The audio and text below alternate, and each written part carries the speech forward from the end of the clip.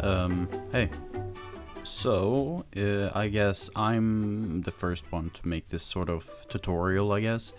Not like an entire Warpaint tutorial, but of how to change individual mapping, texture mapping on weapons.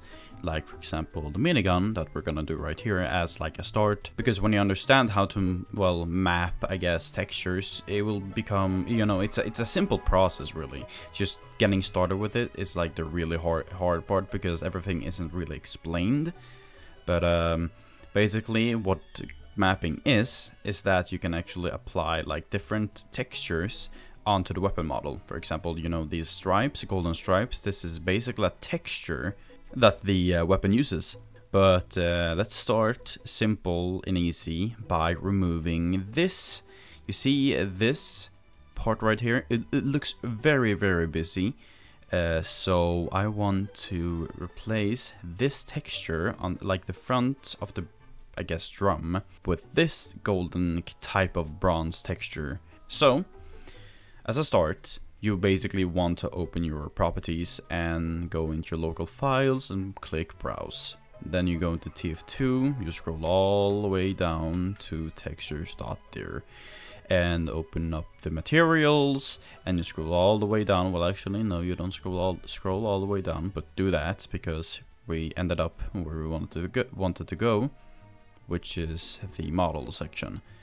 So you go in here, and then you scroll all the way down in this branch till you find weapons. You open that up and then you go to C models. And here you go. Here are all the C models. As you can see in here, these uh, folders contain all the textures and groupings of all the other weapons, like the scattergun, but and the rocket launcher. They all contain the different groupings of the rocket launcher. But we wanna what we wanna look for is the minigun. So it's right here, and if you'll open this one up, you'll see this is the minigun texture. So when we have that folder open, already, I guess, you can open Photoshop or any sort of canvas editing software that you have, and you will basically want to create a 2048 by 2048 sort of canvas uh, so you can actually edit your mapping, as you can see right here. But you open up a new file and you basically make it this big, really, because that's the resolution size for every uh, texture that the game has. Okay, so now we're ready for importing the textures. Just take the minigun texture overall and you copy it. You can right click and then copy. Mo many people don't know this, but you can just right click and copy and you can paste it into the canvas. As you can see, it fits perfectly. Now when we imported this entire thing, as you can see on the Night Owl minigun, it uses this mapping right here, which has two stripes going all over it. That can help us guide us so we choose the right mapping or labeling it as the right mapping. Need, because basically we want the game to know that we want to change, change this type of map for the minigun, so it doesn't change like the top shelf version of the minigun. As you can see right here, you can you see this golden, I mean, they are not golden, but as you, as you can see, these are some sort of small stripes. Uh, but if you actually know the top shelf skins, or the top shelf minigun, it actually utilizes these sort of golden lines. So you can easily detect that which mapping is which, if you know the skin, that is. But when it comes to actually labeling it so the game knows what skin you want to change, you mainly want to use this one because as you can see right here it has one stripe over here and one stripe down here. Either way you open up this grouping you copy it and then you paste it. And don't do not i swear to god do not zoom in or zoom out because uh, it determines which you know resolution it is in. So if you if we zoom out and copy it and we paste it into the photoshop folder i mean canvas you see it's much much much much more tinier so don't mess with that because it can make the textures more fuzzy and therefore bad. But as you can see, if you're not familiar with mapping, uh, which I will assume you're not because you're watching this video, you can see the line, the red is basically the textures that is applied on the minigun. So basically this is the stock minigun, as you can see, right? Because when we change the textures, you can see there's the minigun underneath it.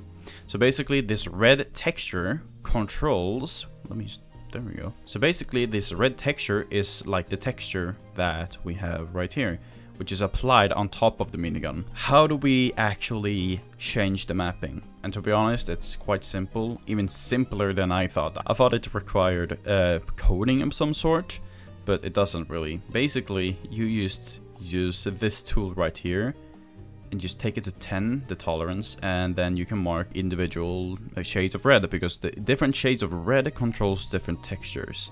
For example, this darker shade shade of red controls the gold texture because it's a, it, it's a golden stripe really. And this one and these like shades shades of red, I don't I'm not sure. Either way. So we want to change this bit right here. I mean changing this part is obvious because as you can see right here it has like a like a little circle right here. I mean they're the only like huge huge circles in this mapping. So mark this one. So mark this one and just make a new layer. Grab your grab your eyedropper tool and you pick the texture that the gold uses or the bronze whatever now, how do you find out which texture is which? As you can see on the tip of the minigun, it has this gold texture and the stripe. So you can use these as like landmarks or reference points. So as you can see down here, these, this is the barrel of the minigun. So you, and basically you just color everything in using the this marker tool. And then you can easily, simply just save it as a texture, minigun mapping, which I have right here save it in any document or whatever. I save it on my desktop because it's the most easiest way to find it. And then you also want to save it as a targa. Then choose the right, you know, the highest setting of quality. Then go to files, import, you choose your mapping or the targa file and you import it. And I mean, you basically know this bit if you make war paints. You save it as, you save it as this group right here p underscore minigun underscore groups 02 because this is what uh, the game is uh, searching this file for when applying the textures onto the Night Owl skin minigun. Skin or paint I guess. Just click yes, then you basically just copy it and you're going back into the game files. I would highly suggest that you that you actually pin this go into your warpaint section. Now here is what I assume that you what you don't have. You go into materials and you will add a new directory called models. Create a folder called models, create a new folder called weapons, create a new folder called C underscore models. Then you create a new folder called C underscore minigun, and here you are.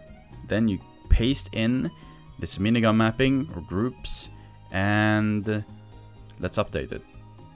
Boom. There you go. Okay, so now we want to change this bit, alright? It's quite easy as well. Due to it having you know, stri a stripe right here, we can easily identify it as being up here. Now, which part is which? So we so uh, the texture we want to change is on top of like the white part of the barrel or drum, whatever you want to call it. And if we take a look right here, this is the white, like the white part of the barrel. So what we can do easily is just mark this entire thing, create a new layer, and basically you, you, you just color everything in. Uh, for some reason my recording just stops whenever I do it. I guess it's memory overflow or something, but I don't know. Either way, you can do this with every single bit or part of the minigun. You can change individual uh, parts of the minigun to the textures that you want. But either way, let's just easily just save it as Targa. I mean, you know the drill. And then you go ahead and copy it. Go back paste it, click yes, override it, and boom, you now done it. You now you you now know how to change individual mapping. Now, depending if you wanna if you wanna change like the grenade launcher, you can just easily go back into your directory like right here, as you can see, and you can easily just apply it on the wrench, sticker bomb launcher, sniper rifle, SMG, shotgun, scattergun, you know everything, everything, every single weapon except for the Uber saw maybe, can you can change the mapping of. But all of the workshop items, like the Crusader's Crossbow, Bazaar Bargain, uh, they have a different directory in the workshop uh, workshop uh, section right here. Uh, but it also, but then it just continues as its same directory as the normal weapon models or whatever. I don't, I can't find the right names for it. Either way, basically you have uh, much more wiggle room uh, to change stuff, I guess. So I hope this guide kind of helped you. I mean, this is basically how you do it. This is how you change. This is how you change the, the textures of or the texture mapping of individual weapons. So I mean, it's pretty neat pretty good to know and I'm surprised I'm the first one to make it if I if in somebody if somebody haven't made it already but you know I haven't seen it so I will do it myself but I hope uh, this uh, tutorial helped you in some way shape or form and or that you found it somewhat interesting but either way uh, have have fun I guess. I don't know